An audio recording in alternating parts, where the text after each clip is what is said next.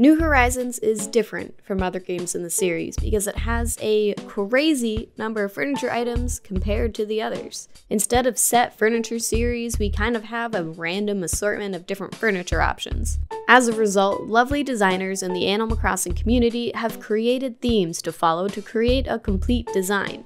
It's clear many of you love cottagecore, which is understandable since we're literally playing a game called Animal Forest. What are the best furniture items for cottagecore, and how can you make them fit together to create a complete look? The sheer number of furniture items in this game is completely overwhelming. The key is knowing which items work together. Inspiration helps a lot. Check out what others have done on their islands, try to get a better idea on what looks good and how it looks good. One item you'll see over and over again in cottagecore builds barrels. I freaking love barrels. Barrels are the number one furniture item to include, of course, in every build. All of them can be improved with the addition of the King Barrel.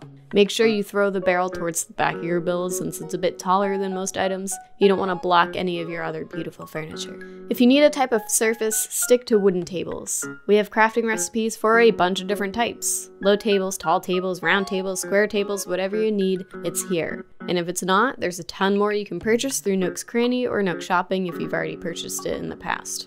I love how I just listed every table in the game and yet have only put one table in this design. Good job, decorating Cora. You really remembered what scripting Cora put in the script. I applauds. Just fantastic work. The main idea for cottagecore is to keep items that hit that peak coziness feeling. Throwing these wooden stools in as a smaller surface is another option. They can be customized to add a lovely pattern and just make it more cozy, which is like the only goal here.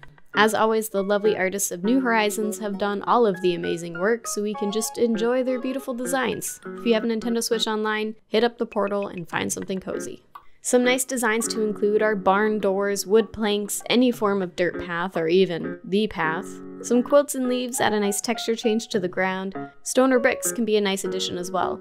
Anything to change up the monotonous grass design, really. Look at this grass. Cover that. Eh, gross. Disgusting. How dare. Zen pillows with a fertilizer design is a cool idea too if you're doing any kind of garden build. 2.0 added these stack bags that can be customized as well.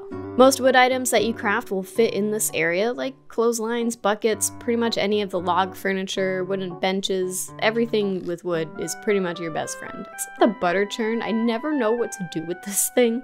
I tend to leave it out. Don't forget to customize the log furniture if you decide to use it. Those quilted designs add so much to the build.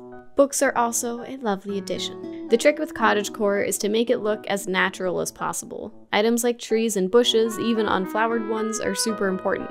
They'll complement the dirt or stone paths very well and add more coziness. How many times can I say cozy in one video? Good job, Cora. Make sure you throw flowers in there as well. Green mums, top tier. But any other color will work if it matches your color scheme. But green mums though, they're amazing. The best fencing options I like to use are the country and barbed wire fencing. Hedges are also an amazing addition if you want to add more green or dead to your winter design. You gotta have barbed wire fencing so nobody touches your laundry. Get get out. Don't steal my clothes. Those are my clothes. The new update added over 9,000 new items, including customizations, which is a ton of furniture to add to your builds. 9,000 items. Can you imagine your boss coming up to you and being like, yo, I need 9,000 new furniture items for this game that's almost two years old. God bless him. Party string lights have been my favorite so far. They match the cottagecore vibes so well, especially at night. The lights are so pretty. They immediately add warmness to anything. There's a ton of amazing 2.0 furniture like the cardboard boxes, the adorable cruiser bikes, storefronts, wheat fields, the amazing bathtub with yuzu, every variation of the pergola is beautiful, the stacked barrels, all the houseplants that have ever existed in the game. They're all amazing. Everything needs more plants anyway, and they never die, so like the best types of plants ever. Just slap them into your design and it'll somehow work. And I didn't add them to my build because I was too lazy to go back to my other island and pick them up and bring them back to my science island. So, no party lights here, but they're really cool. I, I swear. I swear I love them. Just not enough. I'm too lazy. Alright? New Horizons is so different from past games in the series. First, the fact that we have all this area to design, something other than just rooms in a house, is amazing.